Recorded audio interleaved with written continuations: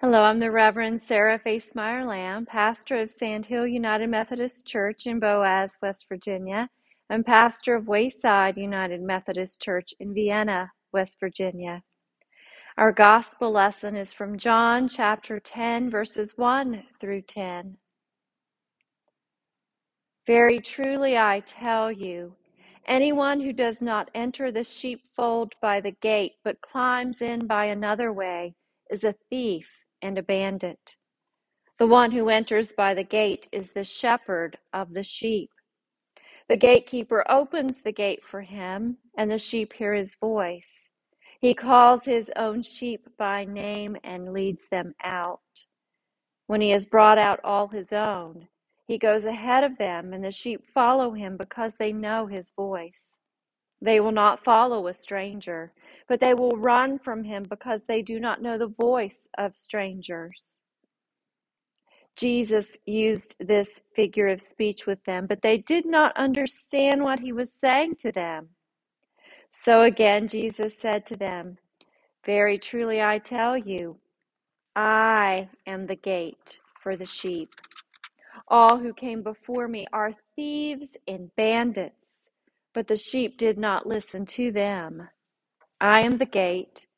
Whoever enters by me will be saved and will come in and go out and find pasture. The thief comes only to steal and kill and destroy. I came that they may have life and have it abundantly. This is the word of God for the people of God. Thanks be to God. This Sunday is the fourth Sunday of Easter, and every year this is Good Shepherd Sunday. It's a powerful and meaningful image. Jesus, our Good Shepherd. Many find strength and comfort and encouragement in the image and in the words The Lord is my shepherd, I shall not want. He maketh me to lie down in green pastures. He leadeth me beside the still waters. He restoreth my soul. He leadeth me in the paths of righteousness for his name's sake. Yea, though I walk through the valley of the shadow of death, I will fear no evil, for thou art with me. Thy rod and thy staff, they comfort me. Thou preparest a table before me in the presence of mine enemies. Thou anointest my head with oil, my cup runneth over. Surely goodness and mercy shall follow me all the days of my life, and I will dwell in the house of the Lord forever. We hear Jesus speak the words I am the good shepherd. The good shepherd lays down his life for the sheep. And he is speaking the words across the ages personally to us. And yet, Jesus' original audience was a diverse group, vaguely referred to as the Jews, which included disciples, Pharisees, and others. Some were for him, some were against him, and some weren't sure what to make of him.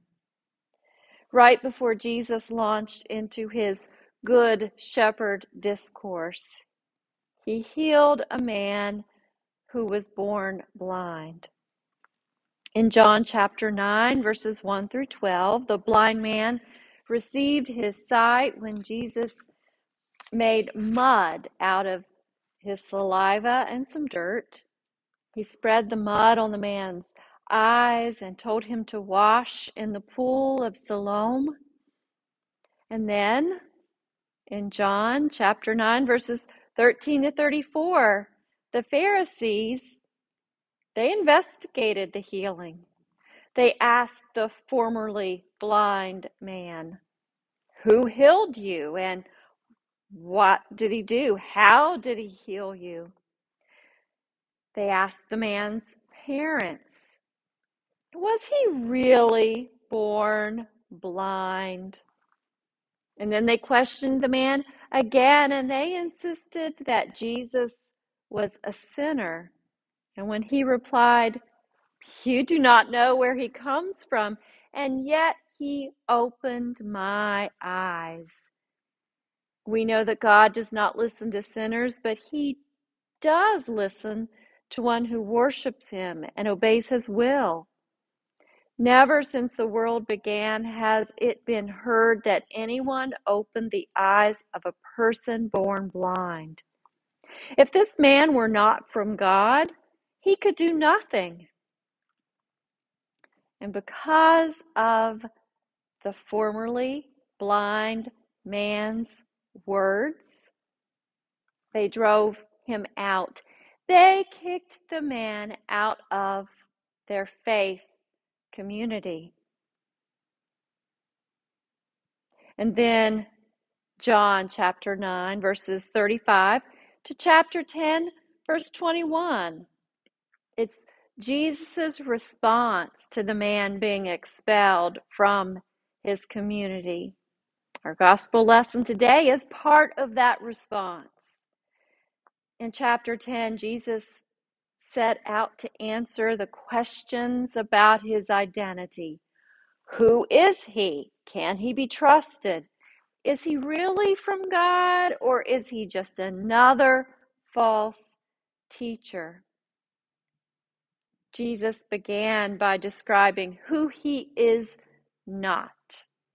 He is not one who climbs into the sheepfold over the wall instead of through the gate. He is not a thief or a bandit who does not care about the sheep. Thieves and bandits only care about their own gain. By contrast, Jesus, the shepherd, he enters the sheepfold openly by means of the gate. He is recognized by the gatekeeper who opens the gate for him. He is recognized by the sheep who know his voice. When he calls his sheep by name, they follow him and he leads them out to pasture. The sheep will not follow a stranger, but instead will flee from one whose voice they do not recognize. Jesus' audience, they didn't know what he was talking about. They didn't understand what he was saying. He could have changed direction and spoken plainly to them, but instead he continued speaking poetically, changing up the metaphor a bit, saying, Very truly I tell you, I am the gate for the sheep. He describes all who came before him as thieves and bandits to whom the sheep did not listen. Again, Jesus says, I am the gate.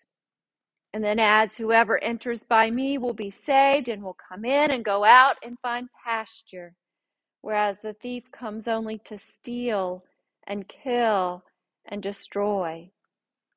Jesus says, I came that they may have life and have it abundantly. The function of the gate was to keep the sheep together in the sheepfold during the during the night, safe from thieves and predators. During the day, the gate was open so that they could go out and follow their shepherd to find pasture. The gate and the shepherd worked together for the well being of the sheep so that the flock thrived.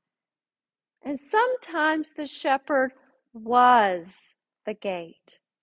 Sheepfolds were enclosures with walls, often stones stacked on top of one another.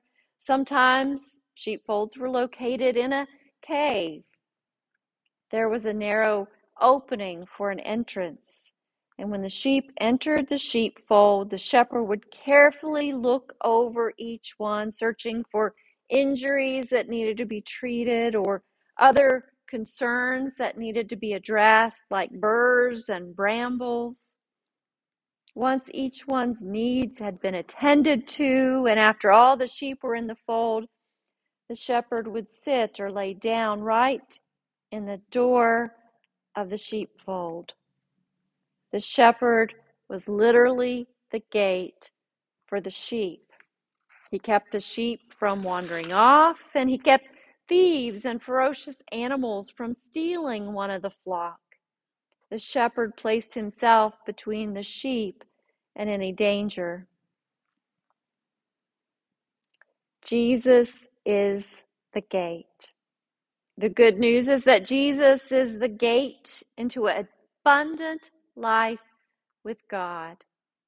How do we who are sinful and imperfect enter into a life of fellowship with God who is holy and completely perfect? Through Jesus. Through Jesus, there is forgiveness of sin, there's freedom from the power of sin and death. Jesus feeds and cares for our souls. Jesus is the gate into God's fold. And I'm thankful that Jesus is the gate. Not me, not my preferences or prejudices, not my cherished traditions. Who did Jesus welcome into the fold? Fishermen, tax collectors, Mary Magdalene, who had been possessed. Jesus welcomed those who were outsiders, those who were on the fringes of society. He welcomed the Roman centurion, the Samaritan woman. He welcomed women and children. Jesus welcomed a committed persecutor of Jesus' followers. He welcomed Saul, who we know as the Apostle Paul. And through the fishermen, the tax collectors, the women, Paul, and many others, through their testimony and teaching and ministry, how many more have been welcomed into the fold? How many more have come to know the shepherd that leads us into abundant life? Jesus is the gate, not you or me. And yet, through our testimony, through our teaching, through our lives, others are welcomed into the fold. Others are welcome to come to know Jesus as Lord and Savior.